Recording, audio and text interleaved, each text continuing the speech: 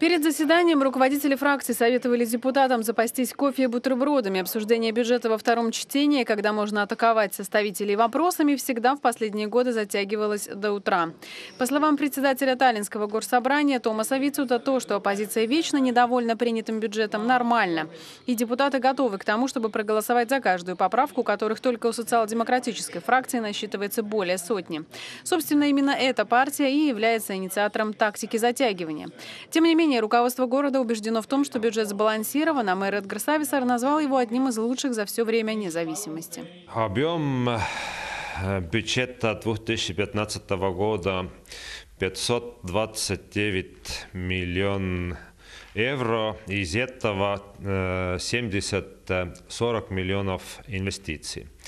Эм, я хочу э, подчеркнуть некоторые пункты, которые мы собираем э, на следующем году сделать.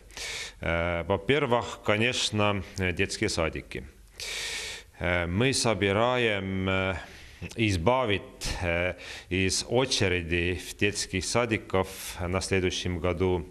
Для этого мы сделаем дополнительные группы в детских садиках в Ласнаме, в центре города и в Мустаме.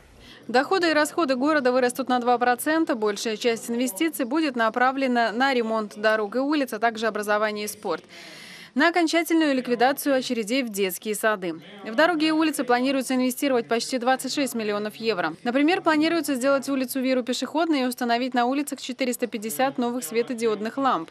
Вообще, этот бюджет называют бюджетом света. С 1 марта планируется вернуть в строй 7 тысяч отключенных ламп, о чем заявил вице-мэр Калли Кландер. Также планируется снести 5 пустующих школ и реконструировать спортивный холл Калив. На последнее уйдет около 5 миллионов евро.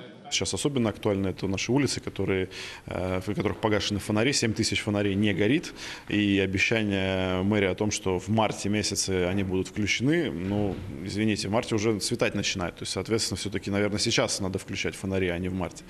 Э, потом 10 э, миллионов примерно евро идет на пропаганду по-прежнему центристской мэрии. То есть это таллинское телевидение, которое практически, как мы знаем, никто не смотрит. Это газеты, в каждом районе своя газета, общая газета дважды в неделю выходит, э, это какие-то другие выделения, то есть, ну, действительно, очень большие, очень большие деньги идут не на то, что нам, как нам кажется, э, они должны идти. Почти 870 тысяч евро предусмотрены на поддержку квартирных товариществ. Запланированы субсидии на приведение в порядок фасадов и дворовых территорий. На проект «Фасады в порядок» планируется выделить 395 тысяч евро еще столько же на благоустройство дворов. 40 тысяч евро предусматривается на озеленение.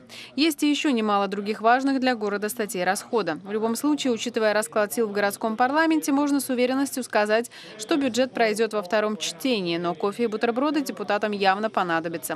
Если же этот прогноз сбудется, то через неделю будет назначено внеочередное заседание Горсобрания, которое примет бюджет окончательно.